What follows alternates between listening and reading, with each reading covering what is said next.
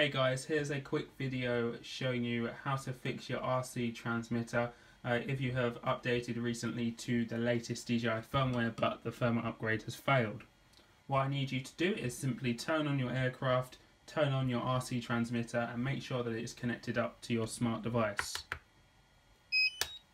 So when you turn your controller on, you should see a green LED light. If you've got a yellow LED light or red LED light, you can try this fix, although I can't guarantee that it will work.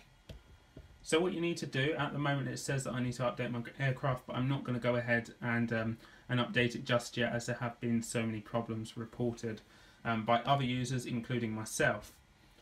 What you need to do first of all is just go into your camera and make sure that you have got the problem um, that I'm going to show you the fix for, um, just in case I don't want you messing up any further.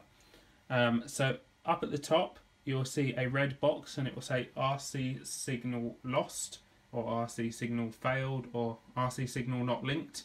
Also your aircraft will flash yellow um, and you may have a couple of errors up here. But as long as you see that red box and something to do with an RC link failure or an RC signal lost failure, then you need to follow this fix. What you need to do is click on your home button here um, and in the top right hand corner you should see a graduation hat. What you need to do is hold down for 5 to 10 seconds. I usually go for about 10 seconds just to be on the safe side. Um, and you should see a grey screen pop up in one second.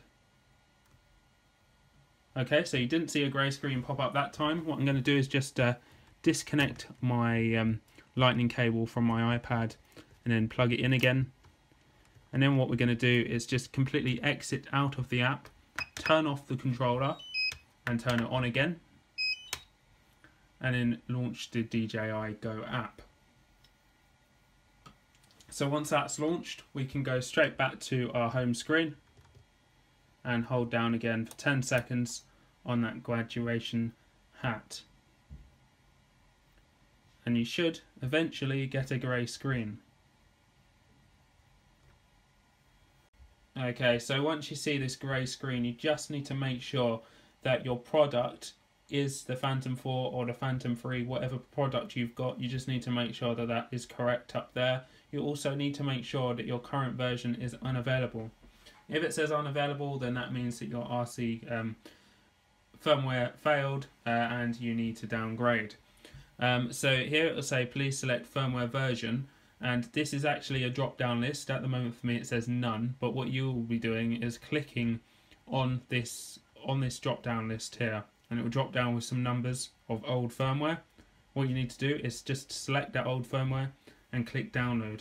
That will connect to DJI servers and that would download and install uh, the older firmware back onto your RC transmitter and that will fix um, the bug for you.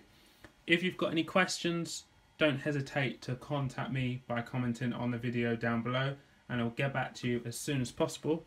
Um, I probably wouldn't go ahead with the firmware upgrade for now. I'll probably just hold back a week or two and uh, see if DJI um, uh, releases a fix for this.